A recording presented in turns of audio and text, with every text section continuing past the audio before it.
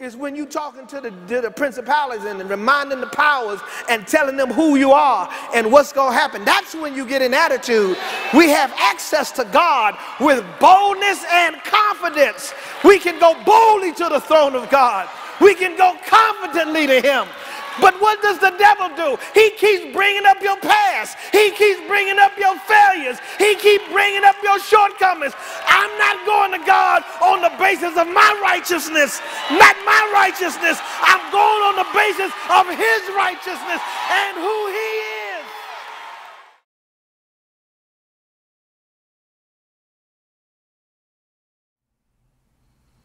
Welcome to Flat Out Elected. My name is Rand Campbell. And today we are going to talk about the single most important truth you could ever know in this life. You see, knowing all of these truths about the deceptions being carried out in this world that have been carried out for generations upon generations are, are, are, good truths to know. It's, it's good to come to these truths. But the ultimate, most important, single most amazing truth that you will ever come to is Jesus Christ. I'm going to talk about salvation. One of my subscribers asked in the comment section of a recent video if I would talk about salvation. Now, there are other videos on this channel that do exactly that, but you know what? Any time is a great time to talk about the Lord and, and salvation and what He accomplished on that cross. So, for me, this is a beautiful opportunity to talk about the Lord and to explain salvation to those that may not understand what it is, and maybe even give those that have an understanding a greater understanding in that they would become closer to God and more at one with God as Jesus Christ was.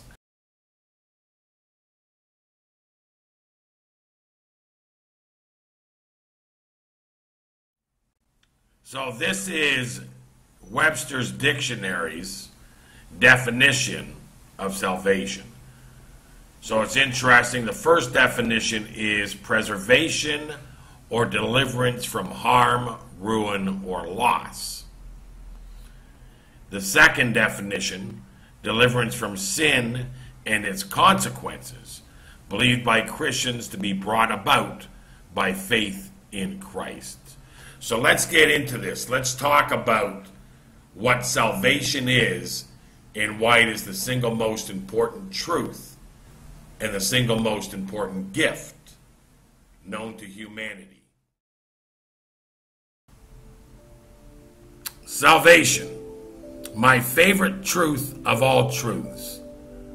To me, salvation is why all of the other deceptions exist if you look at all of the, the, the deceptions that are being exposed in this world today, they are all by design meant to keep you from knowing God, knowing Jesus Christ, and ultimately having faith in Jesus Christ that you would have salvation. So, the ultimate truth is Jesus Christ, and I'm going to explain that in this video. So, the wages of sin are death. That your spirit would not be given life, that your spirit would be dead. And because of this, a dead spirit is automatically separated from God. God is spirit. In John 4, it says that we are made in the image of God and God is a spirit. So if your spirit is dead, because of the, the wages of sin, if the results of sin are that you would have a dead spirit, then that would be the ultimate separation here in this world from God. So you are separated from God. You cannot be at one with God as Jesus Christ was. The wages of sin are death. Now, you're still on this side of Revelation. You're still here in this world, as deceived as it is God is still accessible here in this world. How, how is he accessible? He's accessible only through Jesus Christ. Jesus Christ said that he is the truth, he is the life, and nobody gets to the Father but through him. That isn't only true in the afterlife in your eternal existence. It's true here in this life. You cannot access God but through Jesus Christ. And your spirit being dead to sin because the wages of sin are death, your spirit cannot be given life but through Jesus Christ. That's why he says he is the truth and the life. You see, when Adam and Eve turned on God, when they went against God in the garden, they received the wages of sin, spiritual death. And as a result, Satan, the serpent, received dominion over the world. And because of that, we inherited dead spirits, the wages of sin, when we come to this world. That's why Jesus said, You can't be born again of the flesh. You can only be born again of the spirit of water. It is a spiritual birth, not a physical birth. And so, what is salvation? Well, salvation is an absolute 100% beautiful gift from God. Because He knows that we cannot give our own spirits life. Our spirits are dead to sin. You cannot breathe life into your own spirit. You have a soul that operates in this world, but it does not operate with a spirit given life until you receive Jesus. Now, how do we know that's true? Well, we know that's true in the beginning through faith, and then through faith and through understanding the Word of God, and through worshiping God, and through aligning our souls with a spirit given life through Christ, we begin to take faith to its next level and it becomes knowing. That's why Jesus Christ said, If you've seen me, you've seen the Father. I am at one with the Father. He was at one with the Father because he was 100% aligned to his spirit, and our spirits are in the image of God. So we come here to this world with a dead spirit because the wages of sin are death. The death of the spirit separates us from God. You are, are separated from God. That's why when Jesus Christ was on that cross and he screams out, Father, where are you? Why have you forsaken me? Where are you? That was the moment he received our sins. That was the very first time in Jesus Christ's time here on earth where he was separated from the Father. Because the wages of sin are death, his spirit died and he was no longer at one of the with the Father. He was no longer alive in spirit. Those are the wages of sin. He received the wages of sin when he took on the sins of the world. Now, how do we know that because of Jesus Christ's accomplished purpose on that cross, that we, through him, can receive life in the Spirit, that we would be born again, and that we would be able to receive salvation and forgiveness for our sins. How, how do we know that's true? Well, again, it begins with faith, and faith comes from hearing the Word of God. Now, I know many Christians, myself included, that had heard the Word of God long before we actually received the Word of God spiritually. You see, understanding the Word of God with physical ears is much different than receiving the Word of God in the spiritual aspect of who it is that we are. That's why it says, Those with ears to hear and eyes to see. You see, in order to receive the true Word of God, the resonating Word of God, the spiritual Word of God, you have to have ears to hear. And that's why I believe the gospel is anointed beyond our understanding and that's why Jesus said, you know, preach the gospel to all nations and to all creation. Because I believe that that the gospel has a miracle anointing on it that when you hear the gospel in that moment when God opens your ears that you hear the word of God, you begin to have this faith in Jesus Christ. And like John 3:16 says, for God so loved the world that he gave his only begotten Son, that whoever believeth in him should not perish but have everlasting life. It's not just about believing that Jesus Christ existed. It's about believing in him. It's about trusting in him.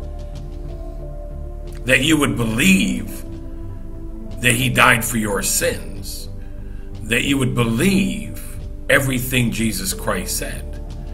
That you would believe that when Jesus Christ said, He is the truth and He is the life, and that nobody gets to the Father but through Him, that you wouldn't just believe that He existed, but that you would believe through faith that he told the truth and that what he accomplished on that cross is real. He died for your sins. You see, when you're separated from God here in this world, you still have an opportunity to accept this gift of grace and mercy. Now, where does grace and mercy reside? Well, it resides in Jesus Christ. But where did God put that grace and mercy? If we're separated from God, where did He put this grace and this mercy? Well, He put it right there in that separation. He put it between Him and us. Jesus Christ is between us and God. That's why you have to go through Christ to get to God, to get to the Father. He put it right there for you to reach out and receive. That's the beautiful thing about grace and mercy, salvation, forgiveness. It's a gift. And He put it between us and Him that you would receive it and desire a closeness, a relationship with God. You see, when you pass out of this life and you go into the eternal life, the separation between you and God exists. Here you have an opportunity to repair that through Jesus Christ. That if you accept Jesus Christ, you can be at one with the Father. You can you can be at one with this wonderful, amazing, beautiful creator.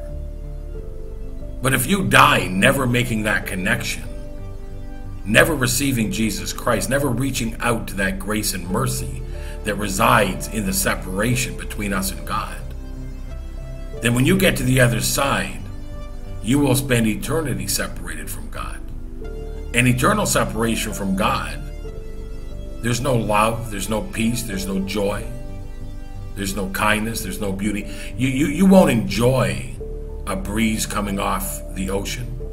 You won't enjoy the love that you, that you enjoy here. You won't enjoy the pleasures of sin. Sin will still exist. You'll take your sins with you. But there'll be no pleasure that comes with them. you see, separation from God is the most horrific thing you could experience. Here you can you can have temporal satisfaction. You can fill the void between you and God. You can fill that hole in your life with temporal satisfactions with the things of this world. But you will never understand peace and joy and the love of the Father until you accept Jesus Christ and begin the process of filling that void in your life with Jesus Christ. It, it's, it's that simple. It is an amazing gift, a wonderful gift. It is a merciful gift. We don't deserve it. We absolutely don't deserve this gift, but yet there He is in all His love and His mercy and His grace. He gives us this gift of salvation. He gives us his only begotten Son, Jesus Christ, that Jesus Christ would suffer his way to that cross. But he was still at one with the Father throughout all that suffering. It wasn't until he received our sins and yells out on that cross, Father, where are you? That he was separated from the Father for the very first time because he received our sins. And we have never known oneness with the Father without Jesus Christ. We have always had that, where are you? Why have you forsaken me? We have always had that without Christ. Because the wages of sin are death, and, and, and, and, and the death is the death of the Spirit, in that you would be separated from the Creator of which whom is Spirit, according to John 4. So salvation is a gift. There's nothing you can do to receive it Jesus Christ already accomplished it on the cross. There's nothing you can do. There is no deed. There is no kind act. There are no words you can speak. There is nothing you cannot justify your sin before the Father. There's nothing you can do to receive salvation but through Jesus Christ. He accomplished that on the cross. He took on our sins that we would be able to have life in the Spirit and be at one with the Father as He was before He received our sins. And then Jesus died, and this is beautiful because when He died, He was buried for three days. And on the third day, He was resurrected. And that resurrection is the Spirit being given life. And that's what happens to us. You see, we have a dead spirit, it's buried until we accept Christ. And when we accept Christ, our spirit is given life. And that's salvation. Now, if you think about salvation, you know, when you go to the garbage dump and you're dumping off garbage, you might see something that you think is still salvageable. You still see beauty in it, you still see purpose in it. And that's what God sees. He sees purpose, He sees beauty in us, even as filthy rags as we are, even as rotten to the core as we are. The disciples asked Jesus Christ, Who amongst us is good? And Jesus said, Not one of you. No one is good. Because before God, we're not good. Now, you might think that you're good and you might say, Oh, well, I'm a pretty good person. I did well in school. I was a good child. I didn't give my parents trouble. I went to college. I got all these degrees. I met a man. We got married. I'm raising a family. I've never been to jail. I've never really committed any crimes. Why would God want me to go to hell?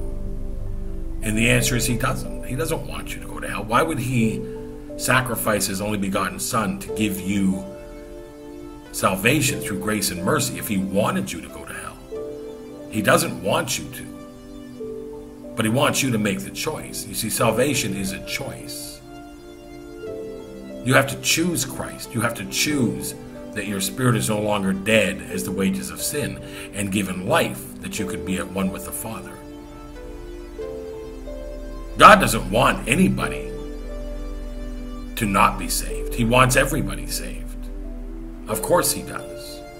But we have free will, and it's going to end up being your choice that you die outside of this world in the flesh and remain dead in the spirit on the other side of Revelation. That's why Jesus said you can't be born again in the flesh, you can only be born again in the spirit. That's why Jesus said, I am the truth and the life, the life of the spirit. And nobody gets to the Father with a dead spirit. Nobody gets to the Father but through Jesus Christ. Jesus Christ resides between us and Him. He is the grace and mercy that fills the void in the separation of us and God. Receiving Jesus Christ is the ultimate truth. He is the greatest truth this world has ever known. We live in a very, very deceived world. And the more you realize the deceptions of this world, and the more you pick up your scriptures, the more you start to, to talk to Christians that truly have a relationship with Christ. The more your heart opens up and the more you understand and, and the more you hear the Word of God, and if you're hearing the Word of God with ears to hear, you're going to begin to have faith in Jesus Christ and everything He said and everything He did. Jesus Christ never lied.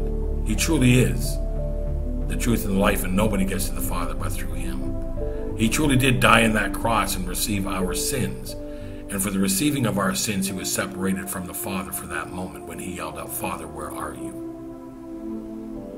And then he was resurrected. His spirit was resurrected. And, and, and, and that is the most beautiful truth you're ever going to know.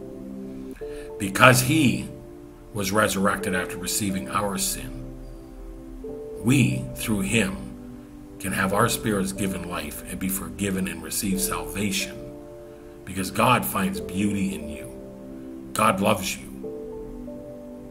He wants to save you. He wants to to renew you. He wants your spirit to be given life through Jesus Christ so that you could be saved. I know this is true because I experienced it. I know this is true because, because God revealed to me that the spirit is dead as the wages of sin, and only through Jesus Christ can the spirit be given life, and only a spirit given life can escort a soul lost to this world back to the Father. You see, your soul is in this world with free will, and it is choosing the ways of the world. Your soul is operating in the ways of this world, and the God of this world is Satan. And that's what Jesus is pulling you out of. He's pulling you out of the ways of this world. He's pulling you out of sin. He's pulling you out of the wages of sin. He doesn't want you separated from the Father. He knows what it's like to be at one with the Father. He knows it better than any of us. And He wants us to have that. He wants us to experience being at one with the Father. But you can't be at one with the Father if you have a dead spirit. Your soul is operating in a world greatly deceived. You're receiving temporal satisfaction and temporal joy and temporal peace in a world deceived. True peace, true, true, true joy, true peace, true joy can only come through Jesus Christ. People ask me all the time if I would pray for peace and joy in their life. And I said, You believe in Jesus Christ? And they go, No. I said, Then I don't want to pray for you to have a fake, false, temporal peace and joy. I want to pray that you you you accept Christ, that you get to know Jesus Christ, because only through Him can you have true peace and true joy. You can't have peace and joy in this world. Absolutely not. I know because I've experienced it. I've tried to fill the void between me and God with the things of this world, and it didn't work. And I know it's not working for a lot of people. I know a lot of people are going to hear this video and, and it's going to resonate with them and they're going to understand that until you have a relationship with God through Jesus Christ, there is absolutely no peace and no joy in this world. And it's going to get worse. It's already getting worse. So, accepting Jesus Christ as your Lord and Savior, believing in Him, believing on Jesus Christ through faith is your connection back to God. It's the, the breathing of life into the spirit which is dead to sin. If you're, if you're sick and tired of being separated from God, if you're sick and tired of trying to to to satisfy your your being, to, to try to satisfy your life with the things of this world, if you've come to that place where you realize the things of this world no longer satisfy you, and you know something is missing in your life, you know that there is an emptiness, you know that there is a hole that this world, the deceptions of this world just can't fill. I promise you, what that is, is your relationship with God. What that is, is your relationship with Jesus Christ. There is no worldly thing, nothing in and of this world that can satisfy you and fulfill you like your relationship with God. You have to repent of your sins Repent of your unbelief and believe on Jesus Christ. Pray. Ask God to reveal Himself. Pray. Ask God to give you the ears to hear and the eyes to see in these times of absolute deception. Ask Jesus Christ to forgive you that you could receive salvation today. I promise you, it will be the greatest truth you will ever know. Knowing the truths of the deception of this world are great. It's good. It's good that you know that. But if they don't lead you to Jesus Christ, you have missed the greatest truth of all. And the greatest truth is that this world, Satan, in his dominion over this world and his indoctrinations, influence, and conditioning, has been very clever, even in his way of turning people away from God, turning away from Christianity, turning away from Jesus Christ, and his way of being able to have that accomplished has been very successful.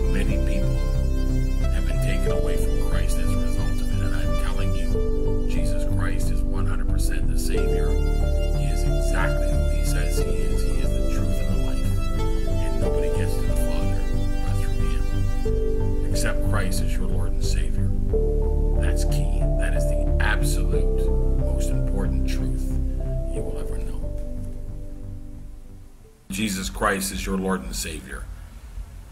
Your time is now. I know God is calling you to do that. Repent of your unbelief. Put your face to the floor. Ask for His forgiveness. Receive Him as your Lord and Savior today. I ask that God blesses you guys. You guys take care of yourselves.